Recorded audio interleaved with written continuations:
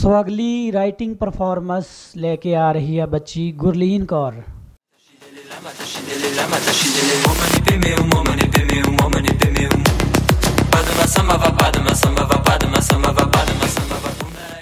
KKHD ਇਹ ਅਖਬਾਰ 'ਚ ਵੀ KKHD ਦੀ ਐਡ ਹੈ। ਮੈਗਜ਼ੀਨ ਵਿੱਚ ਵੀ ਹਰ ਪੇਜ ਤੇ KKHD KKHD ਫੇਸਬੁੱਕ ਦੇਖਿਆ KKHD YouTube ਦੇਖਿਆ ਉਹ 'ਚ ਵੀ KKHD ਮੈਂ ਵੀ ਕੱਲ ਇੰਸਟਾਗ੍ਰam ਤੇ ਦੇਖਿਆ ਸੀ ਉਹਦੇ ਉੱਤੇ ਵੀ KKHD ਦੀ ਐਡ ਆ ਰਹੀ ਸੀਗੀ। ਇਹ KKHD ਕੀ ਹੈਗਾ ਤੁਹਾਨੂੰ ਪਤਾ ਹੀ ਨਹੀਂ ਕਿ ਕੀ ਦਾ ਮਤਲਬ ਕਿਸਮੇ ਕਿਤਨਾ ਹੈ ਦਮ? ਕਿਸਮੇ ਕਿਤਨਾ ਹੈ ਦਮ? ਦੁਨੀਆ ਦੇ ਸਾਹਮਣੇ ਆਪਣਾ ਟੈਲੈਂਟ ਦਿਖਾਉਣ ਲਈ ਇਹ ਸਭ ਤੋਂ ਵਧੀਆ ਟੈਲੈਂਟ ਸ਼ੋਅ ਹੈ। ਤੇ ਸਭ ਤੋਂ ਇੰਟਰਸਟਿੰਗ ਗੱਲ KKHD ਵਾਲੇ ਸਾਨੂੰ ਟ੍ਰੇਨਿੰਗ ਵੀ ਦਿੰਦੇ ਨੇ ਤੇ ਬੱਚਿਆਂ ਨੂੰ ਇੱਕ ਪਲੇਟਫਾਰਮ ਵੀ ਦਿੰਦੇ ਨੇ।